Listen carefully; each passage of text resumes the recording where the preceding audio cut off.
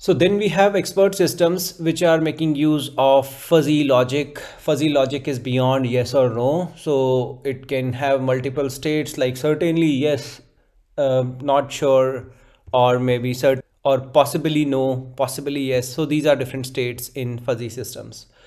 So the machine learning systems, AI systems can go beyond uh, yes or no and true or false, and they can give such kind of outputs and then we have computer vision which is another area in perception and it makes use of multiple ai paradigms.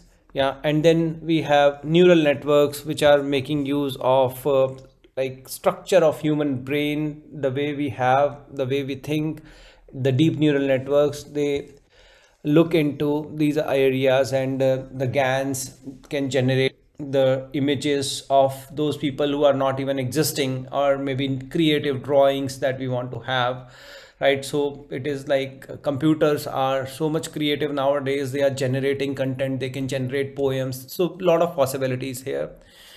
And then we have autonomous systems and these autonomous systems are basically robotic system intelligent systems self-driving cars.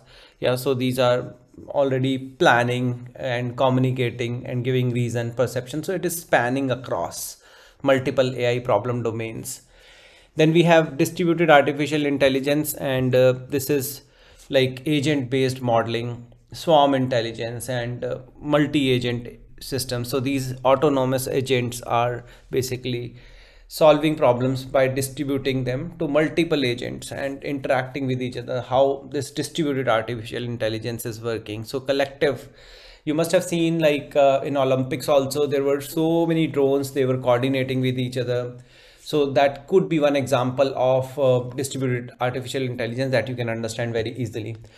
Then we have affective uh, uh, computing and uh, this is ambient computing. So this domain is a subfield that takes care of emotions recognition, interpretation and simulation. Then we have evolutionary algorithms and uh, these are basically like uh, we have optimal solution. It, it looks for optimal solutions like genetic algorithms and it applies search heuristics to choose the fittest candidate solution. So these are like evolutionary algorithms. Apart from that like we have uh, inductive logic programming which is like a subfield. Formal logic to represent database of facts and formulas yeah and it formulates hypothesis driving those from data. So it is a subfield where you will see database of facts are being utilized. Yeah. And then we have decision networks which is again making use of bayesian networks and inference. And it is making use of probabilistic techniques probabilistic ways. Yeah so it generates a acyclic graph internally.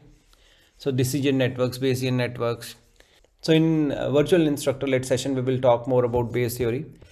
And then we have a probabilistic uh, programming and uh, this area is dealing with Bayesian programs.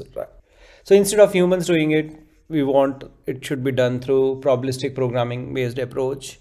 And then we have uh, ambient computing, ambient intelligence. So this is like physical devices into digital environment